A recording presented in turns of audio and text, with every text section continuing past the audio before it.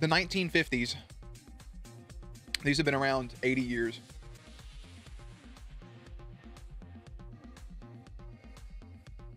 I have been wanting these nuggets all day. 1950s. The chicken nugget was invented in 1950s by Robert C. Baker, a food science professor. Wait, we can do this better. We can do this better. Give me a second. When were chicken nuggets invented? The chicken nugget was invented in the 1950s by Robert C. Baker, a food science professor at Cornell University, and published as unpatented um, academic work. This bite sized piece of chicken coated in batter and deep fried was called the chicken nugget by Baker and his associates. Hell yeah. Shout out Chicky Nuggies. Chicky, chicky, chicky.